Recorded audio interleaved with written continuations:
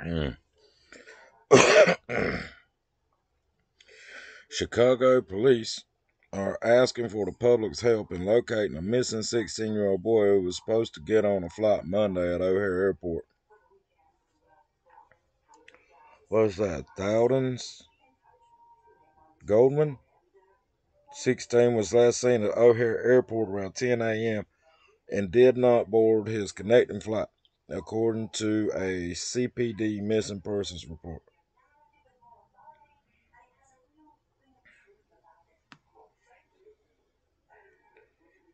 Let's see.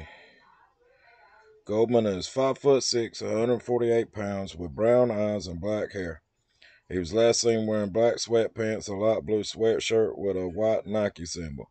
He was carrying a gray Adidas backpack. Anyone with information about Goldman's whereabouts is asked to contact Area 5 detectives at 312 746 6554.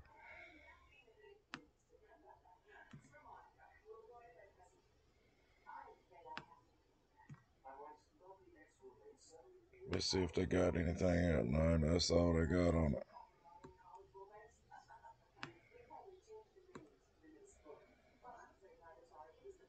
That's terrible, man.